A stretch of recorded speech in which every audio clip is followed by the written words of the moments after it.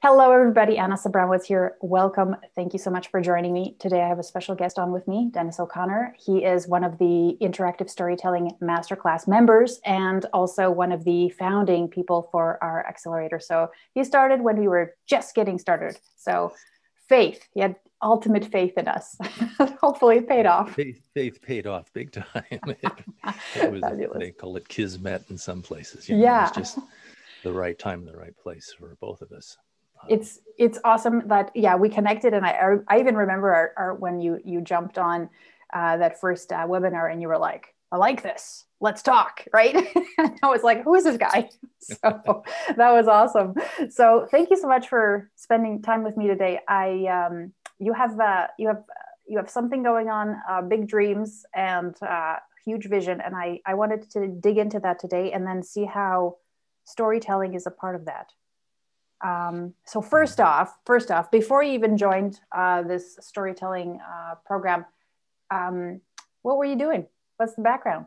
Uh, the background. Uh, I've been a teacher almost all my life, or it seems like, since I was about 16 years old, and uh, for the last 21 years, 22 years, I've been a completely online instructor and teacher. Before that, I spent 25 years in the trenches with uh, kids, taught everything from fourth grade through high school, uh, professional development, uh, taught a lot of teachers. And along the way, got addicted to technology early. Um, I had a bulletin board server up before there was a regular internet.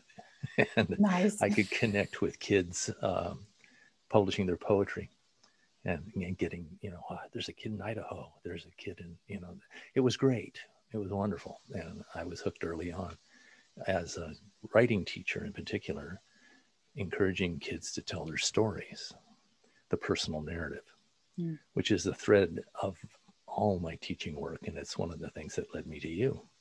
Mm. Because when I saw that first webinar of yours, your personal narrative, your story, your origin story was enormously powerful. It really was. It touched my heart.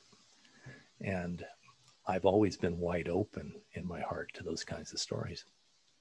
So, as a writing teacher, I taught narrative writing. And then I started teaching word processing as a way to get into it. And from word processing, it became logo programming, it became computers. I became a computer director for my district. And it kind of evolved out of there. But it was always with the belief that I could help people learn how to think with computers, that they would use those tools as ways to communicate. And just by happenstance, the primary method for me was to help people tell their stories. And when I was working as an online teacher, my job was to teach teachers how to teach online. Mm-hmm. So I was working with lots of teachers, thousands of teachers over the years to help them understand how they could tell their stories, how they could connect with their kids, how they could get past the the the static uh, nature that can, can happen in online education and get into discussions and get into telling their stories within these small discussion groups. So after doing that for, gosh, for 20 years, um, it came time to change. It was always time to change. I always move jobs a lot anyway. New things, and, new uh, challenges. Yes, I love it. I mean, when I was teaching, it had to be every seven years I would change. You know, I, I couldn't do the same job. I I spent time in the fourth grade, fifth grade, sixth grade, seventh grade, eighth grade.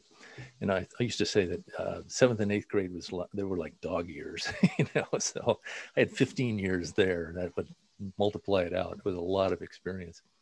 Um, and also some of the very best stuff ever because yeah. getting young adolescents to tell their stories and believe that their stories were worthwhile, that was the soul work. It was just so good.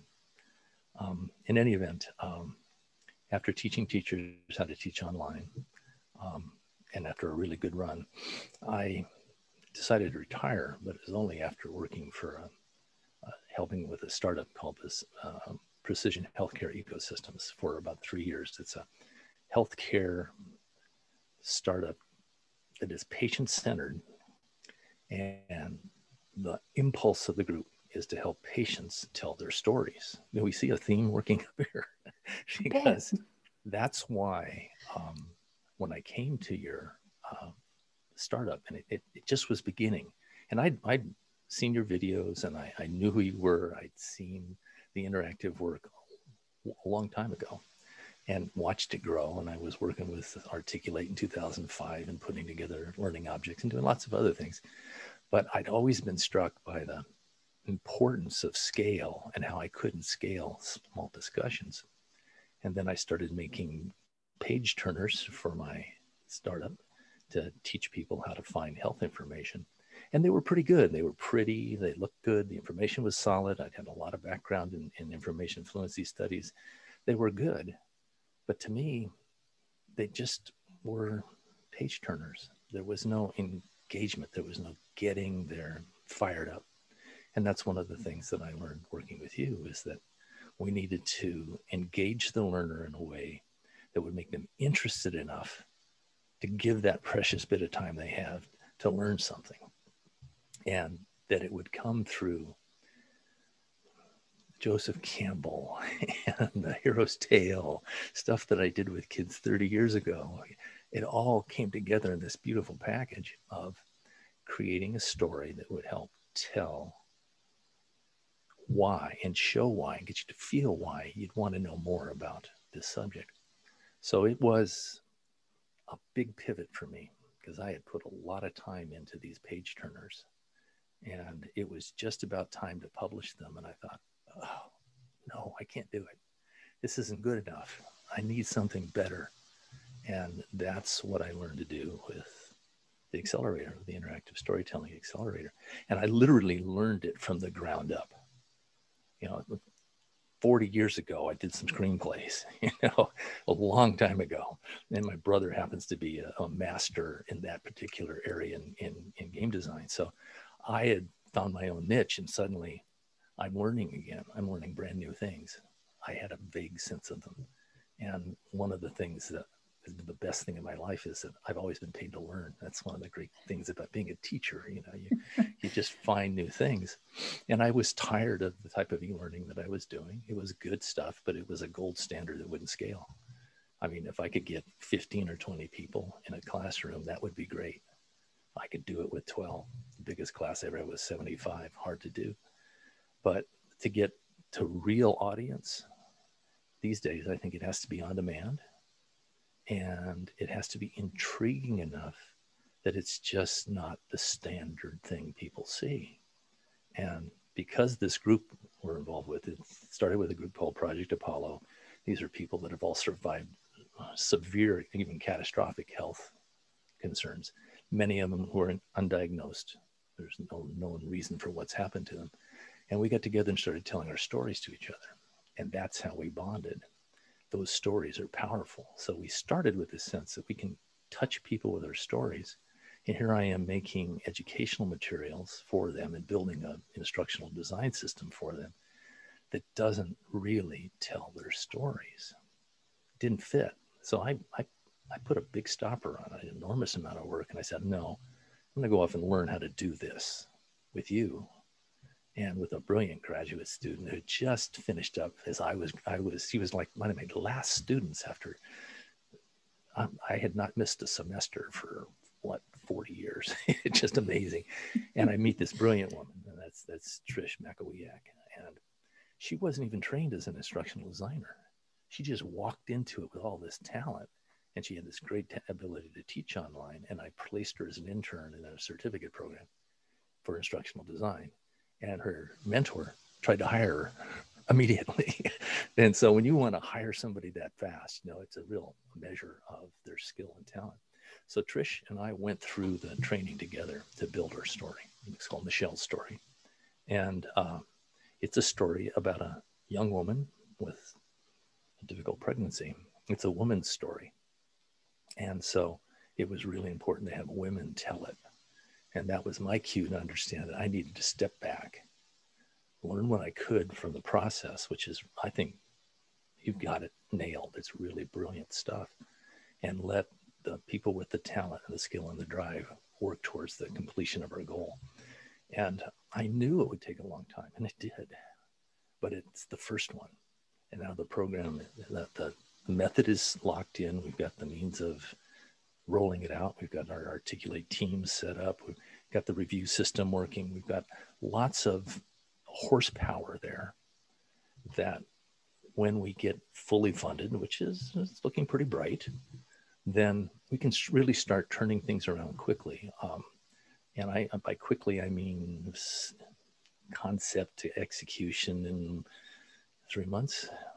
That's not an undoable thing, mm-hmm. especially if we've learned one of the big lessons. Our story is pretty long, so it is. If, yeah, if we compact it, it's it's a stronger way to pull in that attention that's so precious. And mm-hmm. so, um, well, that's what I meant by kismet. It's meant. It's faded in almost in the sense that it was the right thing to happen at the right time with the right people. And I'm pretty connected to social media. I'm dialed into lots of spots. And I just don't see much of this brilliant work being done.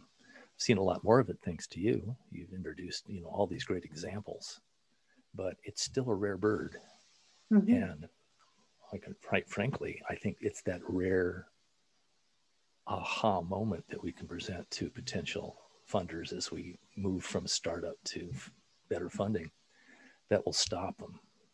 This is we haven't seen this before, and uh, so I'm not saying I'm counting on it. I just feel that's what's going to happen. So it resonates, but yeah. but then again, you're um, you are a good salesperson, I think, because I remember when. Um, you pitched this like you pitched this idea right so mm-hmm. tell me tell me tell us about that pitching the idea of michelle's story yeah um, gosh well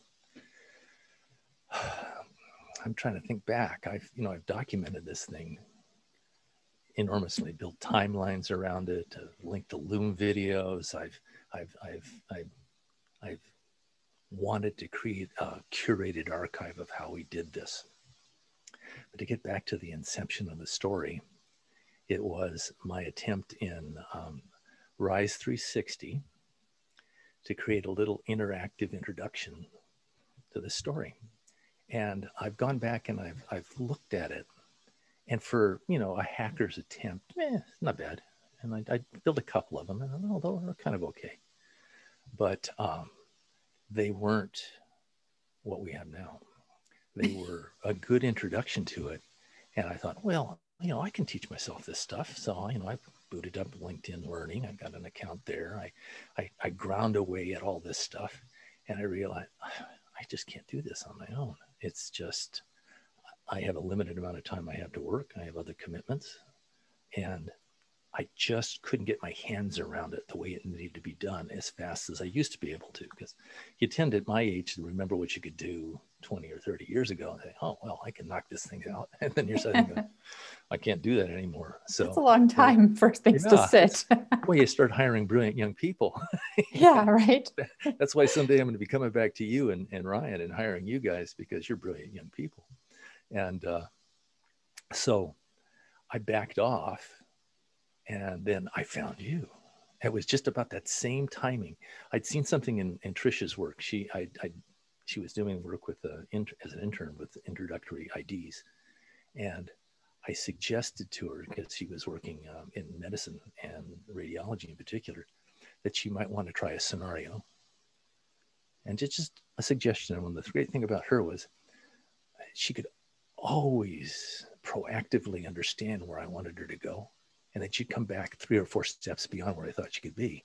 I, I just gave her that little seed and I, I checked back in a week and she said, she'd knocked out a she'd set up a test with articulate and all the rest and she'd knocked out a pretty decent little piece. Yeah i remember. I saw it too. Yeah and i thought click click click click click. Mm-hmm. i think i'd already started with you. And i thought oh I, and I then i decided to hire trish and i got her on board. And i i actually paid out of my pocket to put her in the class because i wanted her to get that training and i knew that together mm-hmm. we could mm-hmm. go someplace. And that's exactly what's happened yeah. And of course, at the the end of that, she she started as a well trained teacher, strong online teacher, great um, uh, education methods background, having worked online for five or six years at, at, night to bring herself up from a bachelor's to a master's to a certificate. Great, great arc story. Talk about a story to tell. Trish yeah. is that story. Um, and now she's got it all. She can manage a project. She can put together an interactive story. She can work in Rise 360, can work in articulate. And as in any surprise, she just got hired full time for yeah. a remote position. yeah. So she can work in her, her beautiful little farm in the middle of Wisconsin and um, not have to leave it, not have to go to work at night in an emergency room. So that's going to change that story yeah. is uh, is part of the stories that make it, and that's shared with our group. I mean, we, we're yeah. connected that way. And so, getting back to the origin, I was working with a character, and her, her name was Michelle, and she was um, one of the stick figures cutouts from Articulate. Yeah. And she was she was chewing on this problem, the same problem that we deal with in in our story. And um, I went back and I looked at that, and then I realized where we'd gone with you, and that was that we wanted to reach a more diverse group, and in particular, we wanted to reach people of color. And I realized I, I need to hire a black artist for this work and I started, you know, we, we were pretty far along. We had our script together. We we followed the steps, and by we I say Trish had done most of the, the heavy lifting, and I could look at it yeah. and give her a background. yeah, and she developed an incredible uh, storyboard. I mean, she just knocked it out, and we'd done all these reference images by pulling things off the internet, and we'd really put a package together.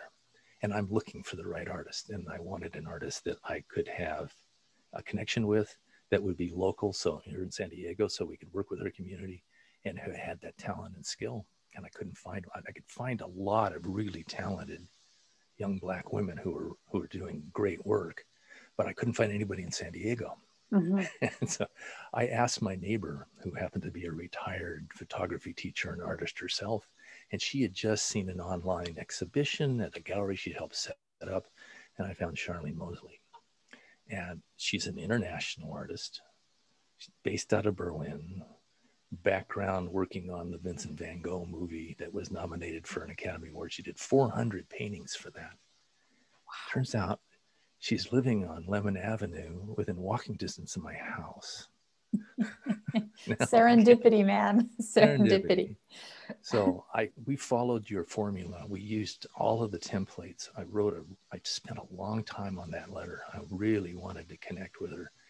Presented her with the storyboard, presented her with a crafted um, um, scope of work, used all of that, and bam, she ended up telling me she had never worked on a commission that was so well organized that she was in from the beginning because of the way uh, it looked on paper, the use of the storyboards. Then we started using Loom, which is something that Ryan had uh, recommended. And all of that got her total buy in. And so I asked her, and our, we had a closing conference just recently. As we sent her a check. The artist always gets paid with me. That's all. That's that's part of the deal. uh, and uh, I asked her, well, what would you would you use this again? Oh, she said, yeah, will absolutely. Show them the storyboard and do it. Excellent. Because as a working commercial artist and a fine artist, she does commissions all the time, and she's got great work lined up.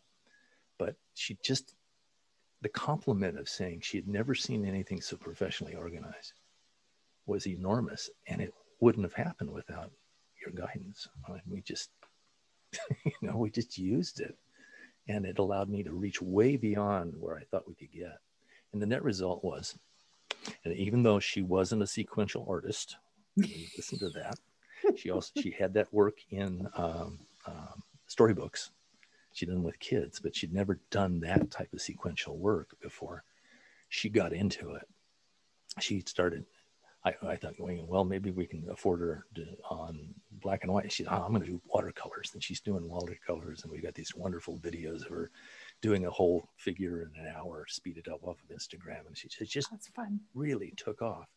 But she got committed to the big vision, which is a, a world where healthcare is patient centered and doctors and, and patients are peers and that eventually you become the doctor of yourself that mm-hmm. you, you are able to gain the information and make the connections to understand what's happening to you and your body even when you're at facing lethal situations and not go into self diagnostics or anything, but still have the skills and ability to communicate in that way. So uh, it just was, it was magic. And uh, I'll hire again in an instant if I have a, t- a chance. She's a pretty busy woman, but man, she really came through for us. So yeah, and yeah. Um, we're now planning a local fundraiser, and we're going to do some work with her originals and help raise some money. To my goal is to raise the money to keep the technical infrastructure up and running and independent. So, yeah. um, but it all comes down to storytelling. And so I, I had to go to the board and sell this idea, and it wasn't hard. I remember the pitch. Um, I, I, did quite a bit with you know what it takes to to do e-learning and what the tiers are and how much time it takes to get them softened up. And I radically underestimated the time it would take anyway. but um, ultimately, it was that the storytelling aspect would be so engaging and distinguish what we did so fundamentally that uh, that's how we had to go. And they signed on. Actually, they remember signing on the meeting. I had them as soon as I mentioned Joseph Campbell. Yeah, I had bootlegged a couple of of, uh, of slides from Ryan's presentation, right? Yeah, and as soon as that everybody resonated with Joseph Campbell, the incredible mythologist that could explain man's story and who was the ultimate influence on George Lucas and Star Wars and all exactly. the rest of it. Yeah. I even have Bill Moyers uh, interviews with at Skywalker Ranch the month he died. Campbell oh, died wow. talking with George Lucas about the the the hero's quest. Now we have a, a hero who's female. It's time. Here, females are heroes, and as a teacher, I worked for wonderful women for so long. It's it's really where I like to work. And there's another attraction because you're a wonderful woman and you run this incredible organization with uh, heart and soul. And uh, so it's it's easy to say this because it's all true. You know, I don't want to say anything it isn't. I'm too old to mess with that. I wouldn't I expect you to. oh, that's awesome. Um, yeah, I, I remember you getting excited about the pitch and then coming back to us and going, they said yes and it was joseph campbell who helped me. So good. That's awesome. So um, after after you joined us was there anything that surprised you about the program? Oh, well i was surprised at how it really was in many ways um, um, an education in how to look at films how to understand and parse um, narratives, the drama. And I, you know, I, I got an English degree. I, I, I know this stuff in my core, but I learned a lot real quickly about um, narration and about pacing and sequence. And I, I think that the emphasis on the beats, on the that, that kind of real subtle timing, I may have gotten there originally, uh, eventually, but not with not nearly as quickly and maybe never. And then I started seeing that when I'm watching other things, I, I love streaming TV. I mean, it's the golden age, right? So I'm watching these these big dramas, these big arcs, and I'm thinking multi levels, and I'm hearing your voice in one ear and Ryan's voice in another ear, and and seeing it, and it helps me uh, relate to my brother's work too because he's is deeply involved in, in massive projects and admire and have better understanding of what he can handle too. So that surprised me. You know, I had an academic background. I'd worked on some screenplays. They didn't go far. I was born in Hollywood, for God's sakes, you know, and I had the connections. And I, many years ago, I decided there's too much blood in the water here for me. you know, I just, I gotta get out of this place. I spent most of my time in the mountains, but uh, uh, continue to write and do things, but just not screenplays. And uh, so to come back to that and suddenly be learning new things. I love learning new things. That is really one of the things that drives me. Three years ago, four years ago, maybe, I decided I want to learn about medicine. I wanted to learn about um, integrated medicine in particular.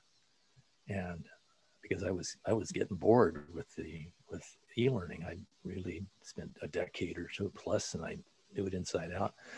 And all of a sudden, here it is. And I've had this chance for the last four years to grow my skills and abilities and knowledge in the, field and work with wonderful practitioners and scientists and doctors.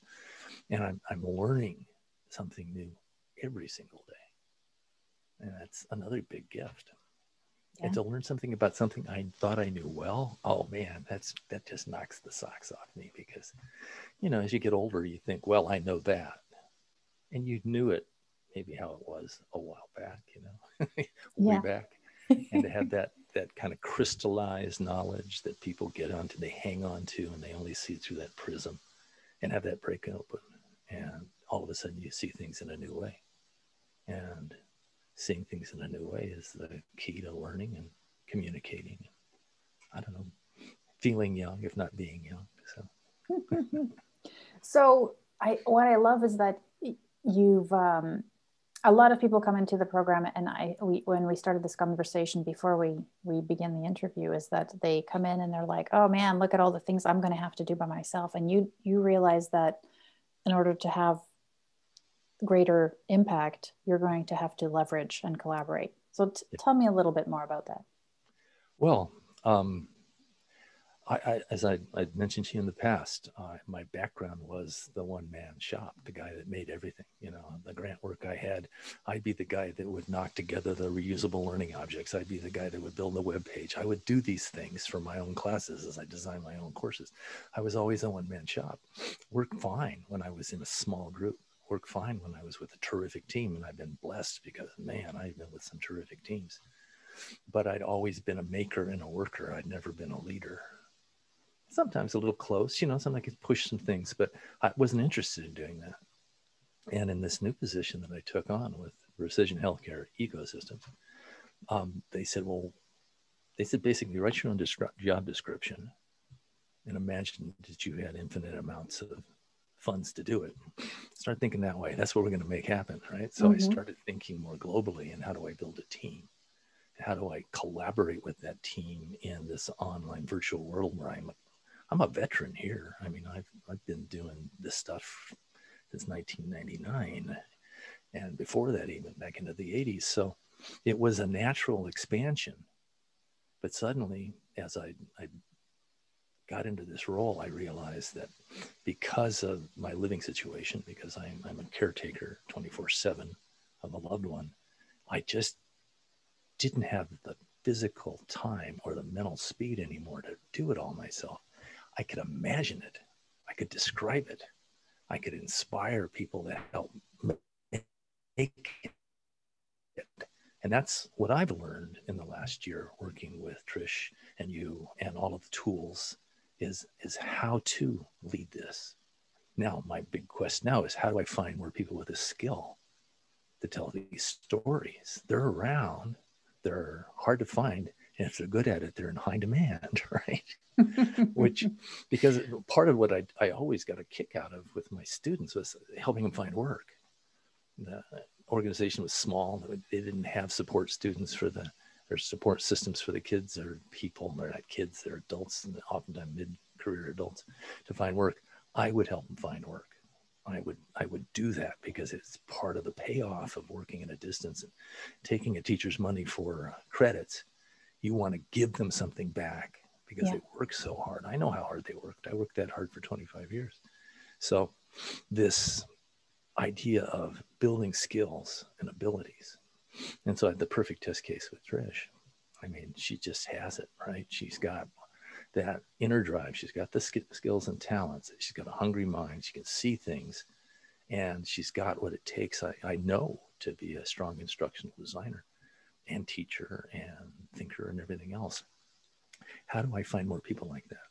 Well, I know a whole bunch of them at this place that's organized out of Canada called Interactive Story Accelerators. So I've been thinking, okay, I got that in my back pocket. You know, when the when I really need to ramp up, I know where I can go. Yeah. And where I can find like minds, that well trained, and people who know how to collaborate. I can trust because the big thing about hiring people is you put a lot of time and effort into finding them and hiring them. And if they're wrong, it's just, you just burned all that time. Yeah. And you don't have a product to show for it. And yeah, you when you somebody who's coachable because you can't expect everybody to know everything coming through the door, but that ability Trish has, and many of the best students I ever worked with, was proactive thinking. They're not waiting to be told what to do. They're mm-hmm. thinking on their own about what they can do, and then they'll bring it in when they need it, or they'll suggest it. And oftentimes it's just great, and you go with it. And those people need to be in an environment where that is recognized. They're not locked in by some, you know, top-down tyrant who's you do the PowerPoint conversions for the rest of your life. you know, that's you know, and you know that's a, that sweatshop kind of uh, fool foolishness is there. It is, and uh, you know, and I, my personal animus towards PowerPoint has got me in trouble because I work with so many academics, and that's their second language. They love that stuff. Yes, I mean, they've grown up on it, and I understand now more. You know, working with a, a subject matter expert, you're not going to diss their their PowerPoint. I did once. I really put my foot in it. You know, I had to work hard to repair that damage. And honestly, the PowerPoints are terrific basic structures for instruction. I mean, it's really good, solid stuff. It just dies on the plate if you try to put it online and say, "Watch this." You know, it won't work. Yeah. But the the to get that from an expert is now gold. Where it used to be, oh, I don't want to work in PowerPoint. Now it's, well, I'll take it and maybe we can convert it. And I actually have a project like that going on right now with a, a, another brilliant guy who's whose whose work, his way of expressing himself is through PowerPoint. Yeah. What I like though is is that he's just learned it. He's not solidified. Oh, good. There's, he's there's working on telling the story of um, how we did the interactive story of Michelle to PowerPoint which will then convert into lots of different ways to tell it and tag it to different places to go. So it's it's been a real journey for me to give up making everything and the frustration that I was feeling that I couldn't make it to my standards. That was the other problem I had.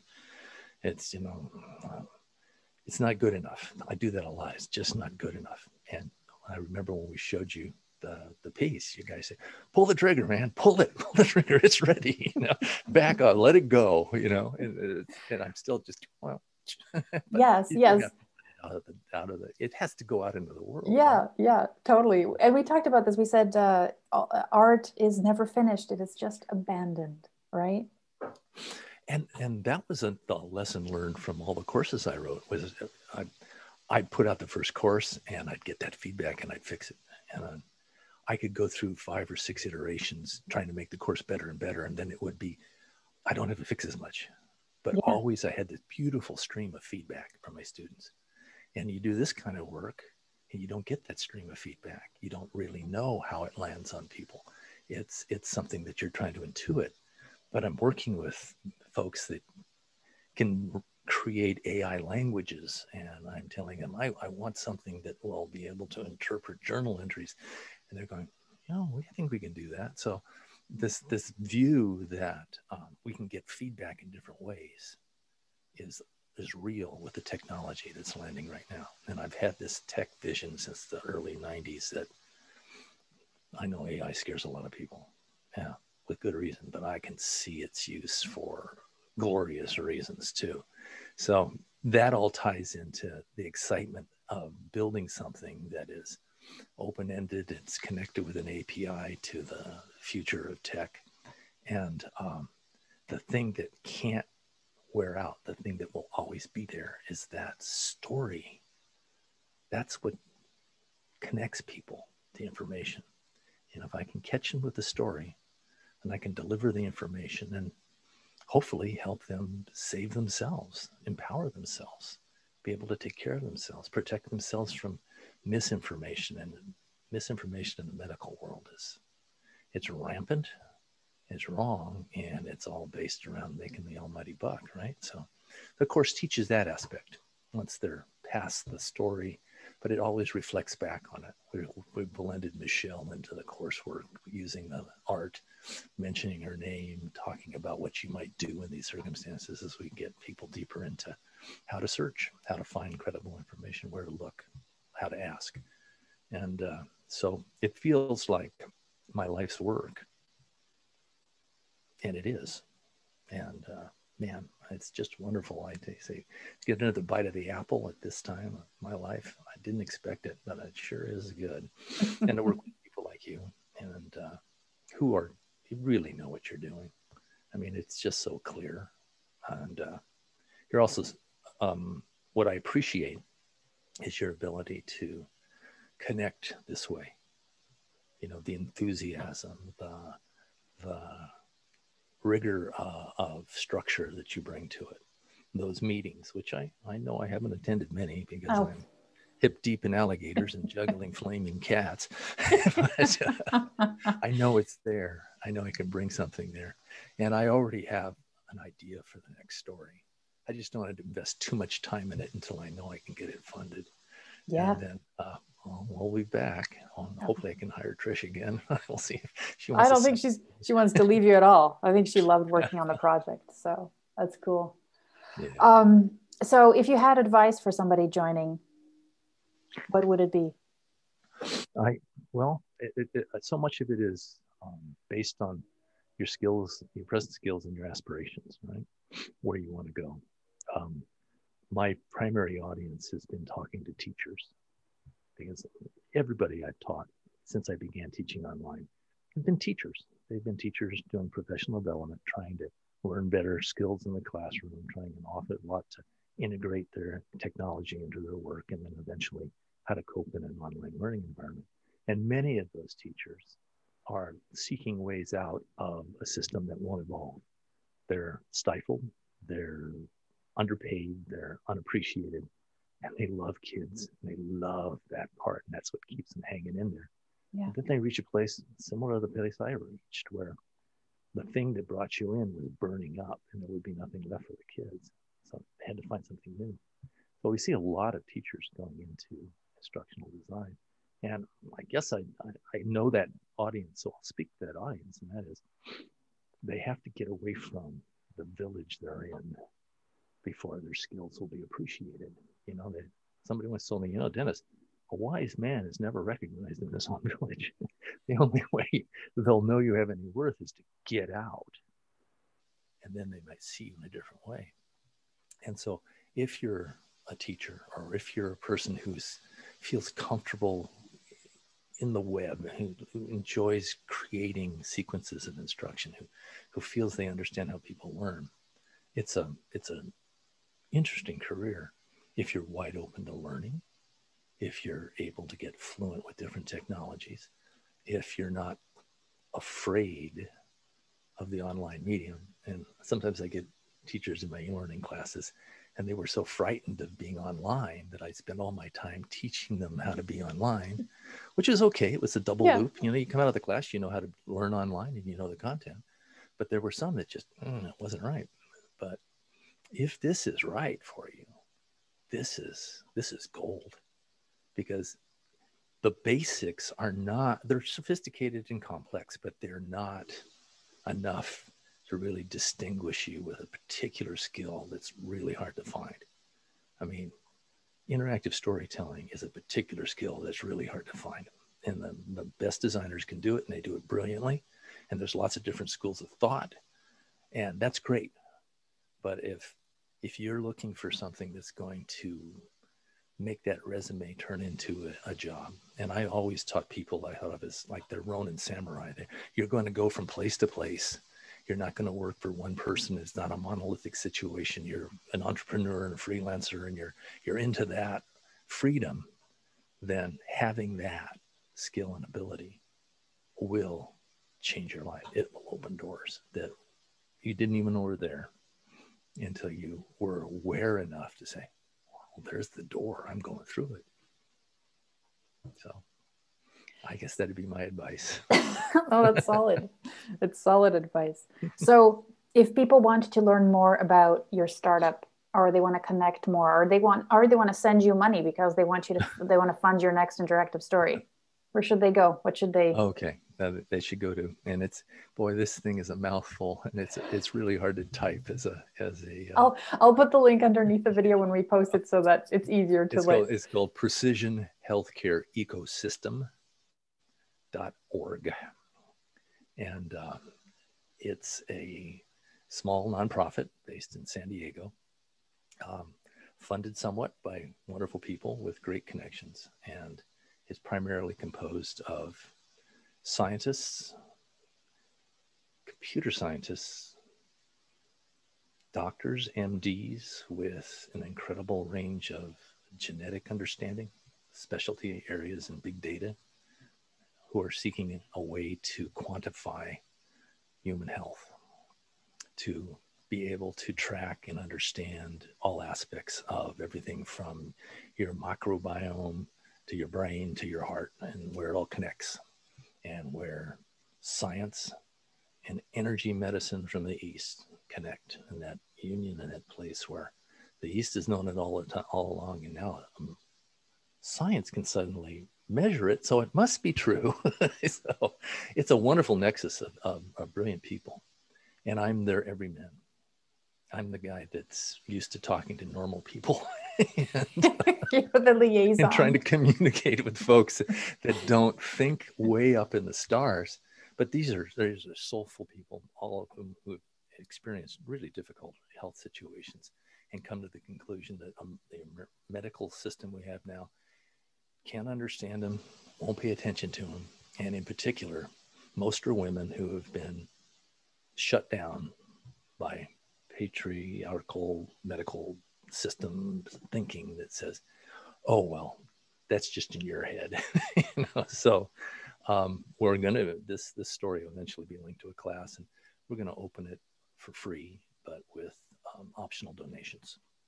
Cool. And so if you want to come and look free, that's great. And I think you have the link where there's a, a demo of the it's actually it's our finished course for Michelle that people can look at. And if they get all the way to the end, and they're asked if they want to learn more, and put them on an interest list because the course isn't ready to go online yet.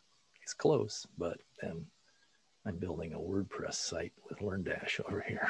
oh, I see. Oh, good. Is, this is like wrestling with the, an octopus that's suddenly grown extra arms. no, that's no, that's awesome. So uh, basically, if people are interested, um, they can check out the. They'll go through the interactive story, get get engaged find their why for mm-hmm. why it's important, regardless of whether they've ever been a woman or pregnant. Mm-hmm. Yes. um, so they'll find their why for actually digging into your course, and then they can sign up. Yes, and eventually it. it'll be there, and it will be free or for donations. Um, oh, that's fabulous! How people feel, yeah, and uh, always open to feedback. So, of course, we know this. Fabulous. Um, Dennis, uh, thank you. This was so, um, it was a good deep talk. I really yeah. appreciate you, the yeah. feedback that you gave. And, and I, uh, I can't wait to actually, I, I want this, like I, I, I heard every time you jump on, on a call, you have this vision uh, for how you wanted to integrate this. And then I know that also one of the things that you're doing is really trying to help people with this. It's not, yeah. it's, it's really like a quest that you're going on yourself. It's your own hero's journey yeah. trying to help everybody along the path right? Yeah no it's fabulous. So, uh, so uh, what i'll do is i'll put the link to uh, to the interactive story and your startup underneath the video and uh, uh, we'll get people going through it and and, and signing up. Much obliged. All right. And, uh, be seeing you again real soon i'm sure. I hope so. All right. Take care sir